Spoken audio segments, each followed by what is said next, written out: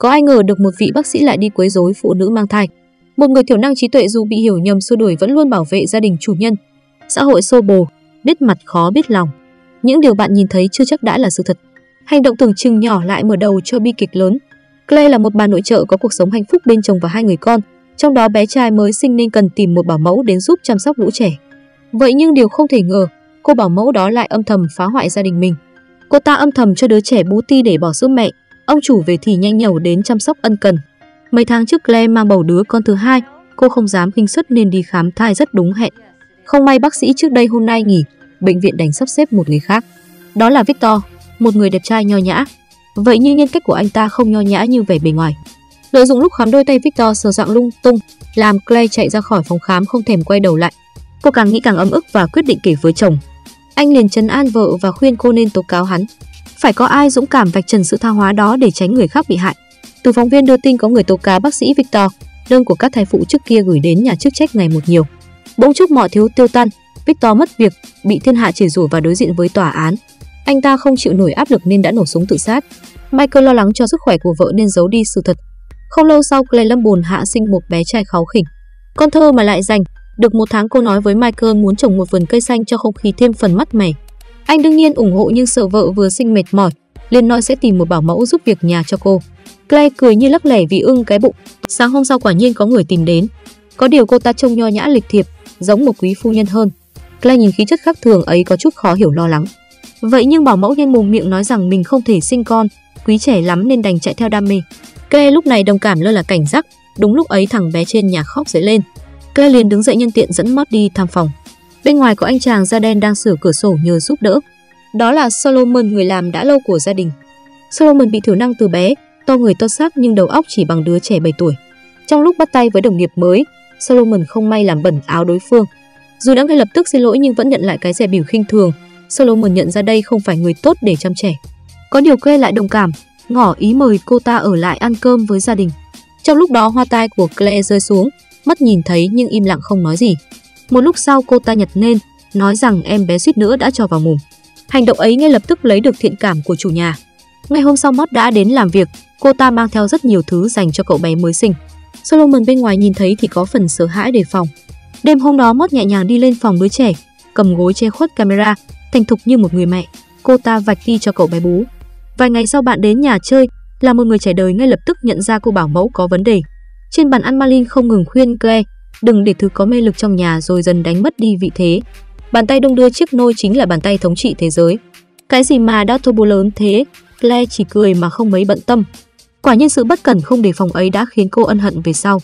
Mất thường xuyên đẩy xe đưa đám trẻ ra ngoài chơi, những người đi đường ai cũng cho rằng cô ta là mẹ của chúng. Mất không hề đính chính mà thản nhiên thừa nhận. Bước tiếp theo Mót muốn lấy lòng Emma và làm cô bé chống đối mẹ mình. Khi biết Emma ở trường bị bạn bắt nạt, mắt đã đích thân tới dần mặt mấy đứa trẻ con.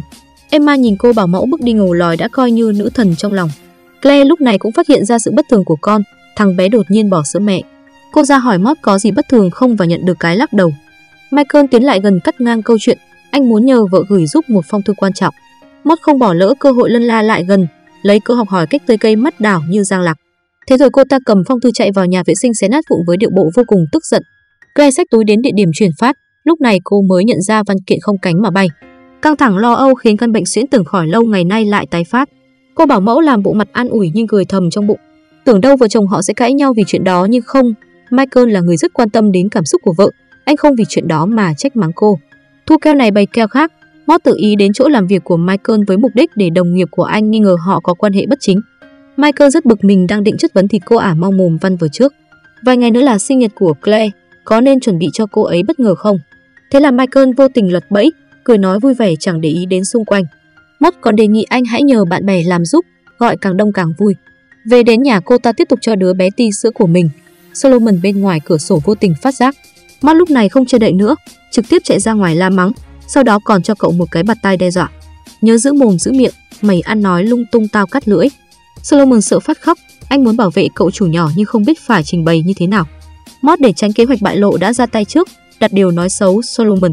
Nhưng Clay gạt phất đi, cậu ấy là một người đơn thuần, tuyệt đối không có ý làm hại ai. Thấy thái độ cương quyết ấy cô bảo mẫu đành ngậm mồm lại. Vậy nhưng kế hoạch đuổi Solomon vẫn được nung nấu trong đầu. Mót lấy quần áo của Emma cho vào chỗ cậu hay cất đồ trong nhà kho. Sau đó nhờ Claire vào tìm xe đẩy để cô nhìn thấy. Claire sợ hãi thất vọng, trong lúc tâm trạng hoảng loạn đã đuổi việc Solomon. Cô cũng vì chuyện đó mà chịu đả kích, tự trách bản thân không bảo vệ tốt cho con.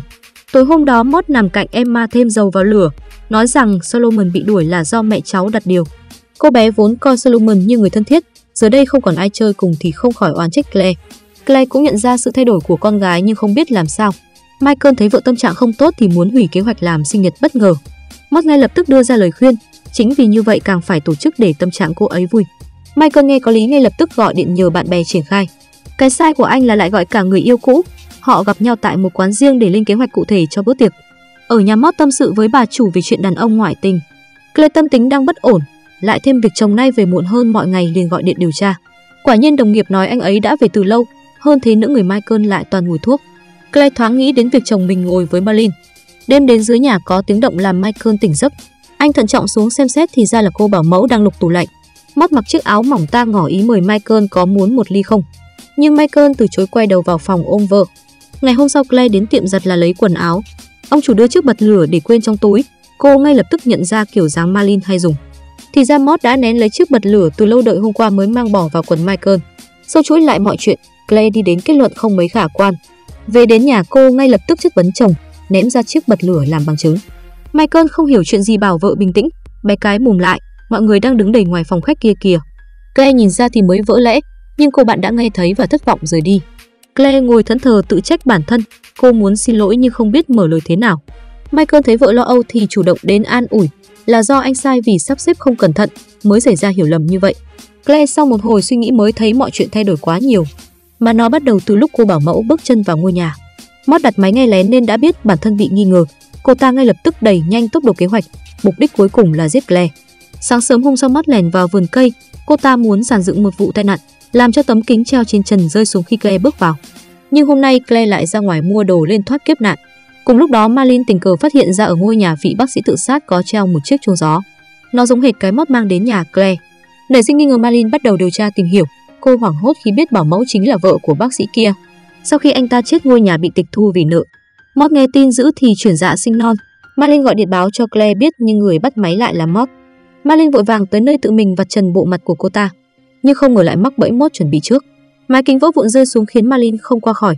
Cô bảo mẫu cầm dao ăn hoa quả đứng nhìn mặt lạnh tanh. Sau đó cô ta đẩy đứa trẻ ra khỏi nhà làm như không có chuyện gì. Clay về thấy Marlin nằm trên vũng máu thì hoảng sợ tột độ. Cô lập tức quay ra gọi cấp cứu. Chưa nói hết câu thì bệnh hen suyễn tái phát. Clay mở tủ lấy hộp thuốc, không ngờ bên trong trống rỗng chẳng còn một viên. Cô lảo đảo bước đi và ngất lịm trước cửa ra vào. Cũng may nhân viên cấp cứu nghe giọng cô có vẻ đang gặp nguy hiểm nên cũng báo người tới. Clay nhờ đó mà được đưa vào bệnh viện kịp thời. Tối đó khi Michael tranh thủ về nhà tắm giặt lấy đồ, mốt nhân lúc không có ai liền lân la gạ trịch. Nhưng Michael vốn là người yêu vợ thương con, bản tính trăng hoa không có trong người.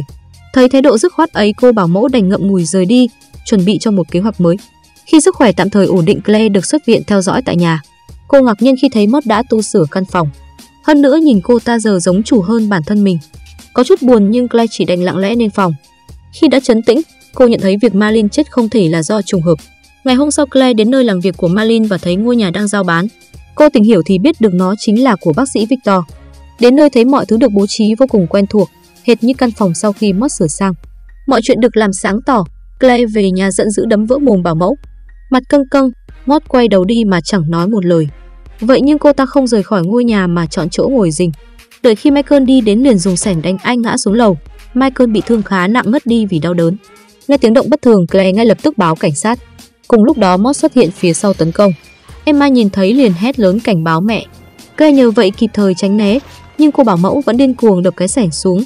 Claire ngất đi vì chúng đòn ngang lưng. Khi khống chế được tình hình, Moss quay vào phòng muốn bắt đứa trẻ đi. Emma sau khi chứng kiến sự việc thì cũng nhận thức được nguy hiểm. Cô bé chốt cửa và bế em sang một căn phòng khác. Nghe tiếng động trên gác Moss liền chạy lên xem xét thì bắt gặp cậu người làm đang giúp đám trẻ trốn thoát.